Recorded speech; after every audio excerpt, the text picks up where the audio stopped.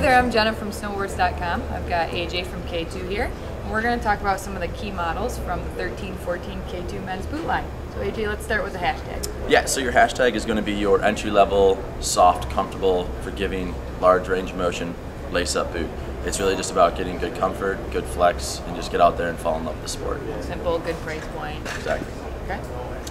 Uh, next step up from the hashtag is going to be a little bit further advanced rider, but someone still new to the sport. It's called the Outlier.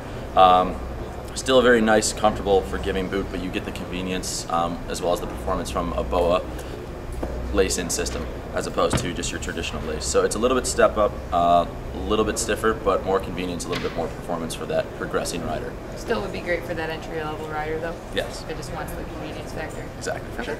Cool. How about the Raider? Uh, when we go from the Raider, you have a very similar feel. You see the BOA as a next step up.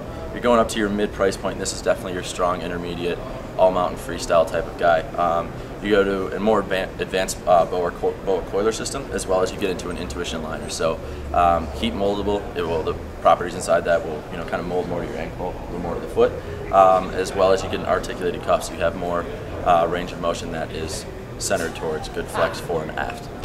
Solid intermediate. Go intermediate all the way. Okay. And Darko. When you go to your Darko, this is our advanced freestyle guy. Um, you have a lot of upgrades in this. You go to the next level intuition liner. Um, we have Boa Conda, which is our patented system for tightening the liner inside of our boot. You have a shell that you can actually move up and down the forefront of your foot. So you do get some customization in the way the boot will tighten down.